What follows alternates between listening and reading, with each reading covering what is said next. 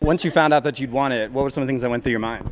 Oh, I just want to know how my team did. I just, I was, I knew I was playing well, and it was so much fun, and I just, I just want to see how our team did to support them and just do the best I could for them. You know how well you're doing, but as a freshman, how do you keep your composure playing at, at, at this high level?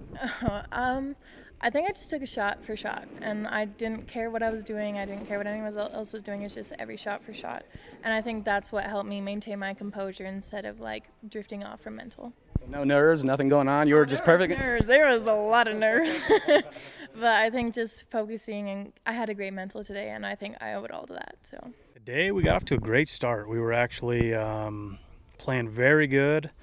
Um, we made a couple kind of tactical errors, mental errors. Um, the way we played a certain hole there, 9, 10, 11, kind of kind of bit us. You talk about Jennifer's performance. She's a freshman. For her to come out here and only her second meet, that's uh, that's pretty big. Uh, that's pretty incredible uh, performance. Absolutely, yeah. It was uh, really neat to watch. I, I, didn't get to see every shot because I'm trying to bounce around, help help bring the team in, and there were a couple girls struggling that I was trying to help get them on track. Um, but I knew where Jennifer was at. I knew she was playing well. Um, I think her previous best, she said, was even par, so this blew it out of the water, her career best now. Um, but some days in golf, you just click and you get it going. You kind of find that zone that people talk about.